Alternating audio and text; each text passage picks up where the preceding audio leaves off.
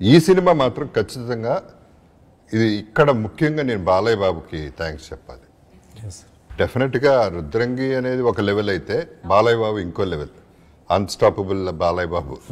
పాపం అడగగానే వచ్చి మూడు గంటలు ఉండి ట్రైలర్ మీరు లేరు మీరు ఎవరు లేరు నా దగ్గర రియాక్ట్ అయినట్టు అంత అవ్వలేదు కానీ నా దగ్గర రియాక్ట్ అసలు మామూలుగా రియాక్ట్ అవ్వలేదు. ప్రతి షాట్ చూసి ఆయన రిపీట్ చేస్తూ నా నేను ఒక డైలాగ్ చెప్తే అది రిపీట్ చేస్తూ మమతాని గన్ పట్టుకుంటే చూస్తుంటే అమ్మని ఒక క్రా- ఒక కేక పెట్టి అసలు ఎక్సైట్ అయిపోయి ఇది అదిరిపోయింది.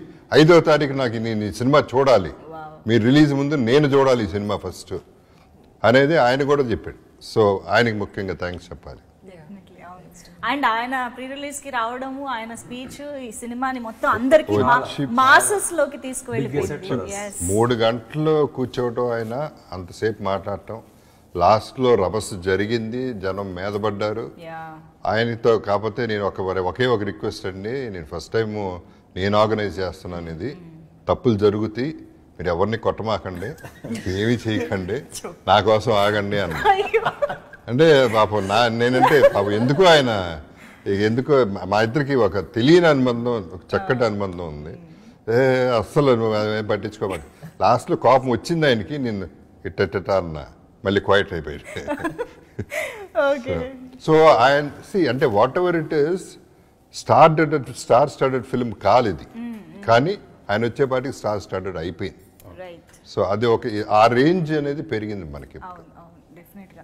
And this film deserves that డెఫినెట్గా. ఎందుకంటే ఆ టెక్నికాలిటీస్ అంటే మామూలుగా ఇందాక మీరు అన్నట్టు రెగ్యులర్ ఫిల్మ్స్ చేయడం వేరు ఒక ప్రపంచాన్ని క్రియేట్ చేయడం వేరు. ఇప్పుడు రుద్రంగి అనే ఒక ఆ- ఊరిని నిజంగా అక్కడ వెళ్తున్నాము అక్కడ ఒక దొర దొరసాని చూస్తున్నాం అనే ఫీల్ని తీసుకురావడం అనేది it's not an easy task గడి ఇట్ట ఉంటుంది?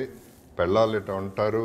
ఇవన్నీ అనేది ఒక natural it's hundred percent natural film like Mamata అంత ముందు చెప్తా ఉంది గ్రాఫిక్స్ చేసేసి మనం మ్యాజిక్ చేయట్లా.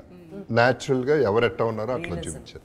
అవును అవును. అంటే గ్రాఫిక్స్ చేయకూడదని కాదు. చేయకూడదని కాదు బట్ ఇంకా న్యాచురల్ ఫీల్ వస్తుంది. అవును. రియల్ సెట్స్ రియల్ లొకేషన్స్ అదే నమ్మకం వస్తుంది Yes. ఓ ఇలాంటి జరిగింది అప్పుడు. ఇట్స్ నాట్ ఎగ్జాజరేటెడ్ రియల్గా ఉంది రిలేటబుల్ కాదు. Was. ఐఎమ్ షూర్ ఇప్పుడు మాహిష్మతి ఇవి ఎలా గుర్తుండిపోయాయో. రుద్రంగి తర్వాత ఈ క్యారెక్టర్స్ నేమ్స్ అన్ని కూడా అలా గుర్తుండిపోయే రేంజ్లో ఉంటుంది అనేసి. Same time Baahubali RRR dialogues కూడా రాశాడు. సో ఈ డైలాగ్ రైటర్ మామూలేడు కాదు. దాని గురించి తర్వాత చెప్దాం ఇంకా చాలా ఉంది అయితే తెలుసుకోవడానికి. ఆ జూలై సెవెంత్ వీకెండ్ తర్వాత విల్ ద రియల్ మనకిల దట్ ఇస్